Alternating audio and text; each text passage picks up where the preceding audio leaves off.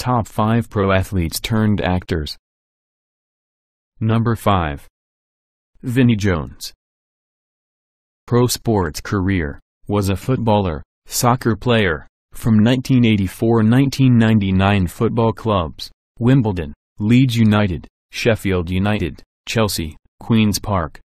Not following English football I was not aware that Jones was a former professional athlete when I saw his solid performance in the movie Swordfish. Later I learned about his impressive soccer career. He seems to have great screen presence and continues to be a very busy actor and is now starring in most of his movies. Number 4.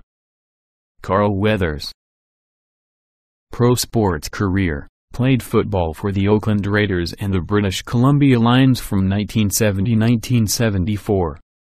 Carl Weathers was perfect in the role as Apollo Creed in the Rocky movies.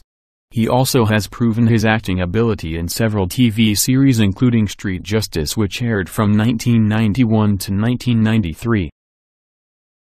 Number 3. Fred Dryer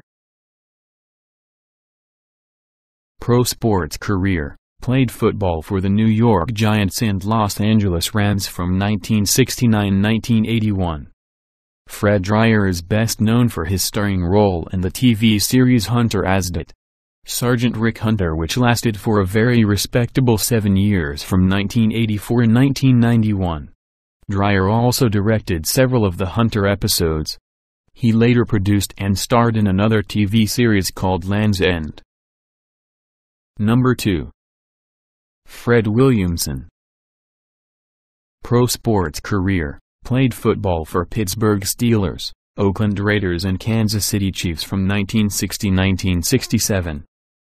Williamson kept busy in movies and TV for over three decades.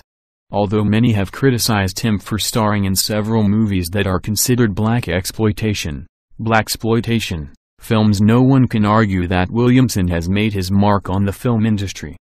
Williamson also produces, writes and directs. Recently Williamson displayed good comedy instincts playing Captain Doby in the movie Starsky and Hutch. Number 1. Jim Brown Pro sports career, played football for the Cleveland Browns from 1957 to 1965. Sure it would be nice to see Jim Brown take on more versatile roles. But when you consider he was one of the greatest football players ever along with his very successful movie career, it is hard to deny him first place on this list. Everyone remembers his performance in The Dirty Dozen which launched his movie career. Since then he has starred in over 30 movies and also produces and directs.